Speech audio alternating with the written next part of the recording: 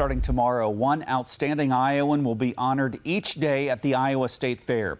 We're hearing tonight from a nominee about how she made a difference in her Southeast Iowa community. KTVO's Maddie Lee introduces you to her.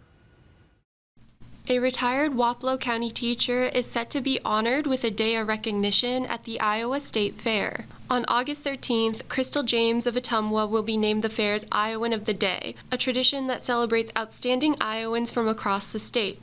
James dedicated 32 years to teaching English and drama at Ottumwa High School. Even in retirement, she remains actively involved in the community. She continues to volunteer as a substitute teacher, Sunday school teacher, and in various other capacities. It's enjoyable to be part of the volunteer in their theater, Ottumwa Community Players, and uh, PEO and Women's Club, uh, Midday Connection. Additionally, James frequently volunteers at two Ottumwa food pantries and Whatsoever You Do, an organization that supports the homeless and those facing homelessness.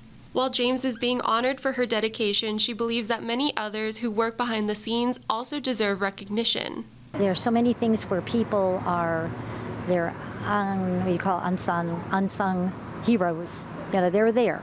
They're in the background, and they're planning and arranging and calling, and they're a support. They're not right out there in front, but you know, it takes those people uh, as well to make a strong, make it strong.